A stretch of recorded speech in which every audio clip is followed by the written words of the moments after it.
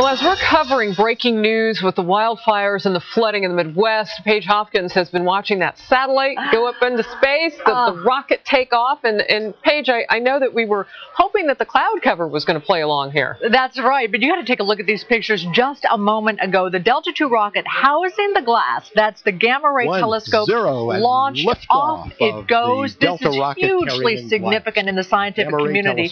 These are going to be the first pictures we have of the gamma of in the everyday sky. This is going to answer a lot of questions scientists have about those black holes, the sources of gamma rays. Look at that. I, I got to tell you, I, I can never get enough of looking at something like that. The actual telescope is only 8 feet by 9 feet. It's inside of that Delta II rocket.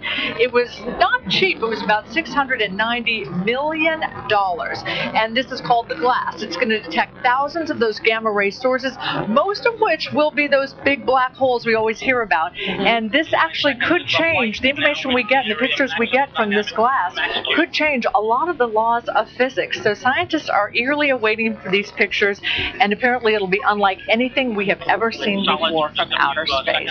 And so far, it looks pretty good. And Paige, I know our eyes can't pick up that level of light. So this is like putting on a big old gamma ray pair of sunglasses, And- basically, and of course- so that we can see it. Exactly, because we only have a narrow band of vision when it comes to colors, which I mean, again, we're getting into all this technical stuff, but it's it's quite incredible. This will capture a whole array of colors that Yeah. we've never seen and really can't picture with our naked eyes. But I'm sure uh, John knows a lot about this, right? He has a gamma ray gun. I'm not. You No, know. I, I lost it as a child. I okay. had one. That was the story. I had a gamma ray gun. Okay. all right. glad glad we could visit that again.